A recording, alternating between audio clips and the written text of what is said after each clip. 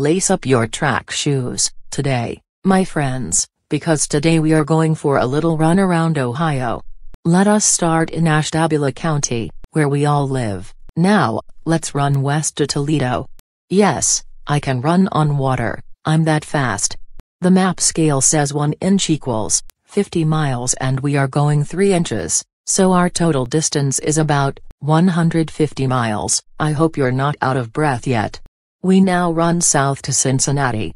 It is about 4 inches on the map, so that's 4 times 50 miles, or 200 miles total.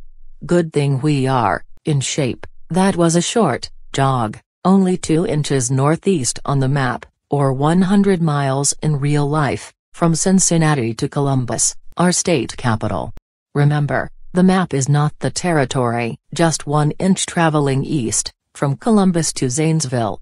That's 50 miles in real life.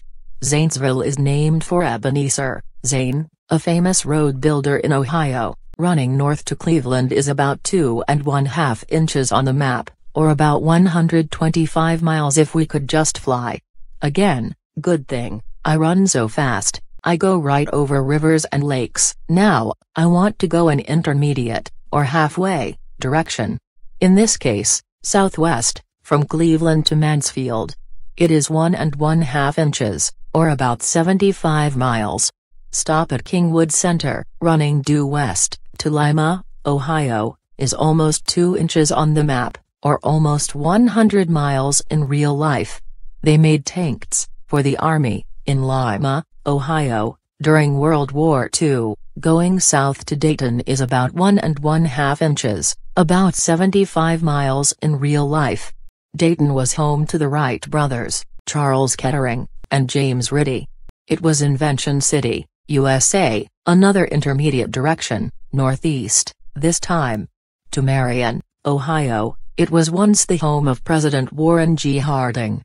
Now, they make clothes dryers, in Marion, Ohio. Dayton to Marion was almost 100 miles, and Marion to Canton is about 2 inches or another 100 miles.